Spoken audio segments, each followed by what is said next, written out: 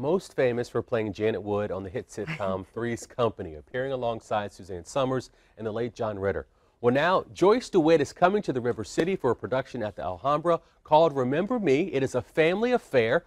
Joining me now in the studio herself is Joyce, and her niece Catherine DeWitt is also in the show. And I mean, what a treat for the folks here in Jacksonville who have been following your career for so many years. Tell us a little bit about uh, Remember Me. It sounds like uh, it sounds like a really awesome storyline. It's an extremely charming piece of material. Um, absolutely some of the finest comedic writing I've ever experienced. And trust me when I say that, if you come see the play, it's really, really funny. um, brilliant writing. Um, a marriage, uh, husband and wife, happy, good, solid marriage, but gosh, maybe he's not paying attention to her quite enough um, as things, you know, can occur in a mm-hmm. relationship. Men kind of forget to pay attention to their girls. Um, anyway, so that's the premise. And all of a sudden, out of nowhere, old uh, college love shows Flame up. pops up. Yes. And says, remember me. Exactly, okay. exactly. And that's, uh, I mean, I think a lot of people can really relate to that because there's always someone from the past who could possibly pop up in your city. And you have no idea. You know, they would just enter into your space, um, and it helps you think about your life and what you're doing, and you become much more present, I think, um, when the unexpected shows up. But it's such a funny play. It's such a good play.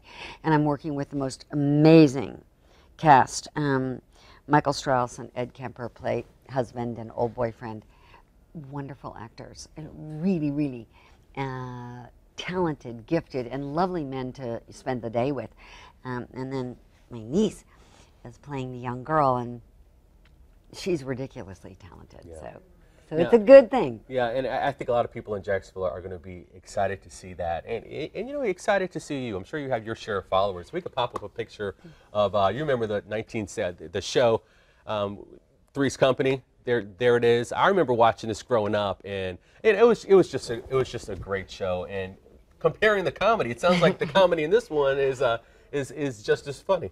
It is. It is. Um, the dialogue is so brilliantly written. Uh, honestly, um, I've almost never read a play that um, is so cleverly written um, and the audiences. We've had, you have great audiences here. Mm -hmm. The people who have come to the theater so far, they're really intelligent theater audiences. They come in, they pay attention, they know the game, uh, the journey we're going to take together, and they do it so brilliantly.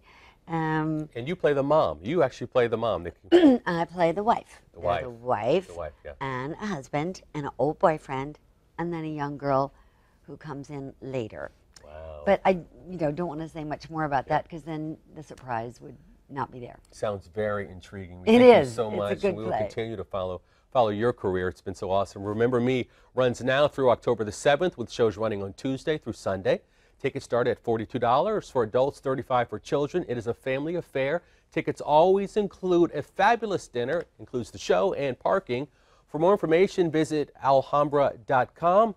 And that is the latest. And uh, we'll see you guys there. Nikki? Thank you, Tom.